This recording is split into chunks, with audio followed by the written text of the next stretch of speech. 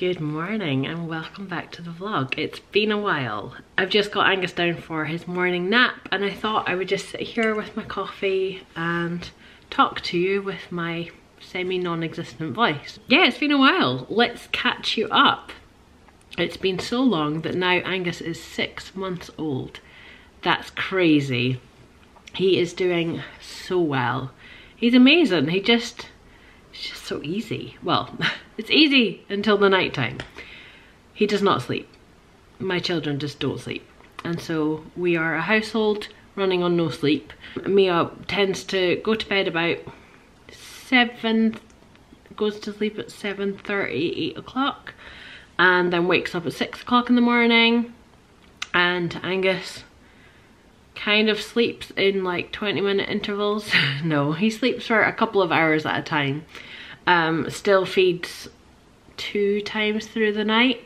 I tend to try not to feed him and just comfort him to sleep. We have tried so many different things though at this stage that you just do whatever to try and get some sleep. And so we've had to kind of divide and conquer. Ingmar sleeps in with Mia in the sofa bed and I deal with Angus and it is not an ideal situation, but it's survival mode. And that's where we're at. I am absolutely at the point where I am ready to build him a cot and put him through in a separate room, which is what we did with, with Mia at six months. So my foggy mum brain is probably forgetting what she was like because in my head she was just ready for it and it was lovely but actually it was probably a nightmare as well but other than that he is doing amazingly he is weaning and eating everything in sight. He devours his three meals a day, which is crazy that he's not sleeping because he's eating so much, feeding well and on the move. And he just has oodles of energy. He's always been strong, but he is now crawling, crawling backwards. He's ready to move everywhere and chase after his sister. She is absolutely fantastic and dotes on him and he is so excited every time that she comes in bouncing into the bedroom at six in the morning to jump all over him. The two of them are just great together and it's just, it's, I feel so lucky. I am in no way moaning about any of this or complaining about the lack of sleep because I know how short this is. It does pass and it passes relatively quickly, um, not when you're in it, but I know that this does pass and that I will look back and kind of miss these days.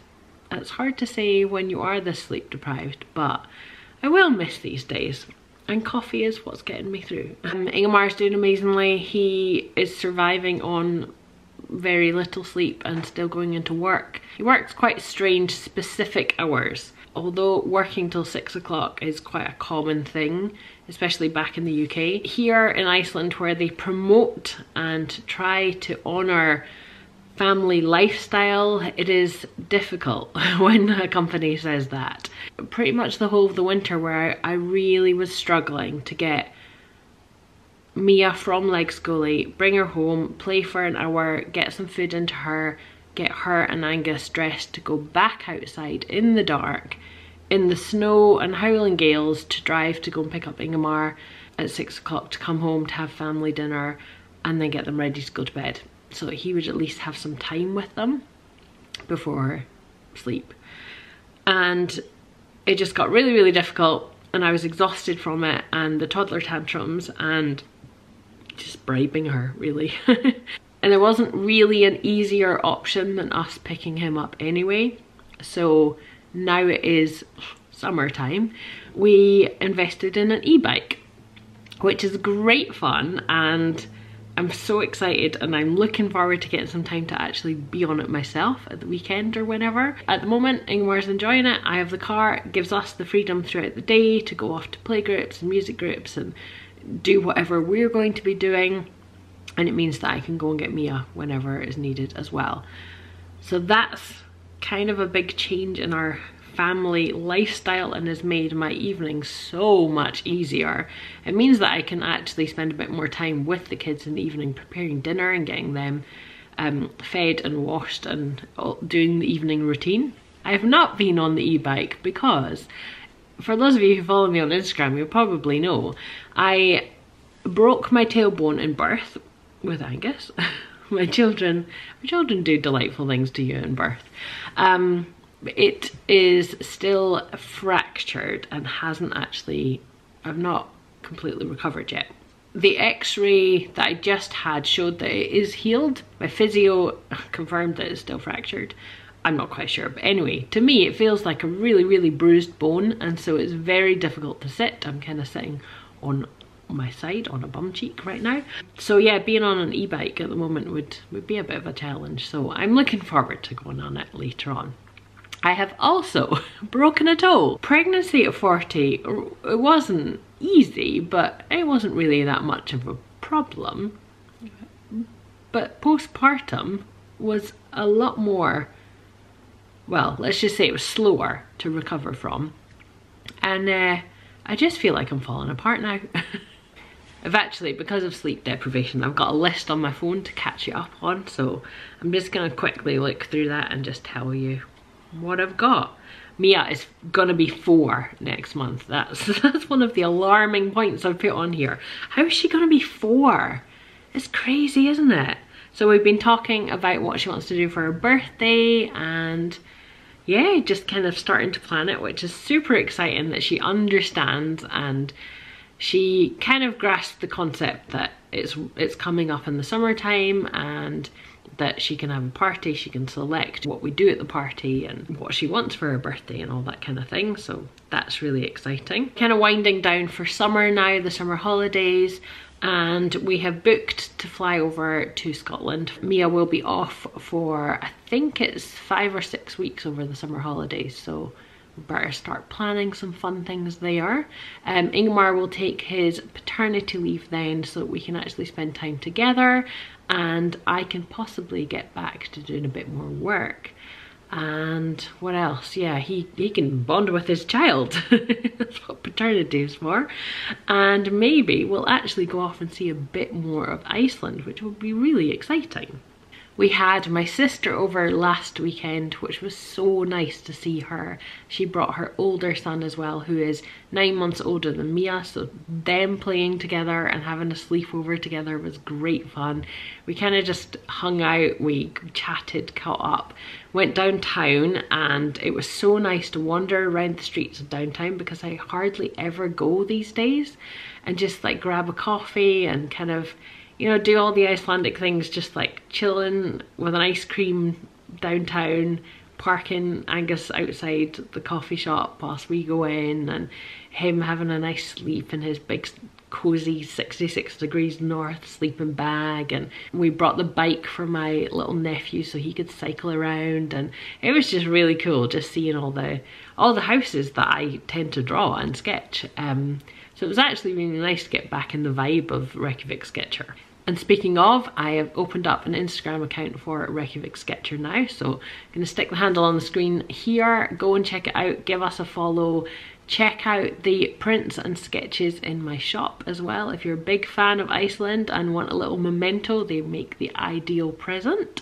So a little self-plug there. And you might have noticed that I've changed the name of this channel to my name. I've been thinking a lot about this, what direction I want kind of my going back to work after uh, this maternity leave, what kind of direction I want to go in. I want to take the channel and my content and just the you know the idea of building a brand a self brand changing it to my name makes it much easier for me to talk about any topic and it kind of encourages me to film then because i think i've been a bit hesitant about putting too much content online recently. I don't know, second baby kind of, there was something that, something shifted and I want to not necessarily protect my children because I do put them online, I'm quite happy doing it and it is really really nice to record our journey and our family life and share it with you guys.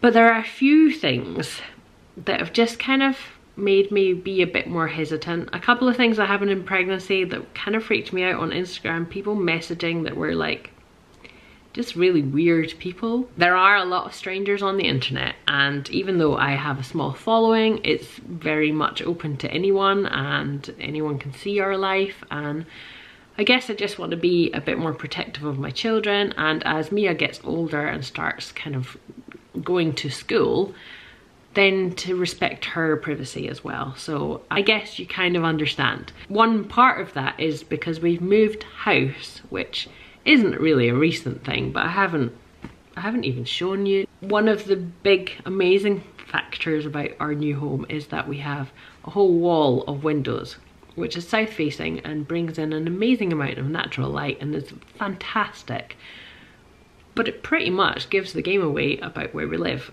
so if you live in Reykjavik and you saw our view, you pretty much know. And we also do drive a very obvious car. People probably already know where we live, which is something that is obviously not a good idea to put on the internet. I'm a little bit unsure about filming too much in here as well. I'm not quite sure how much of the view I want to show because it's an amazing view. Um, our, our new home is beautiful and I love it so much. I feel so at home here and I want to show it off to you but there's also that kind of privacy factor as well. So I'm still kind of in two minds about that.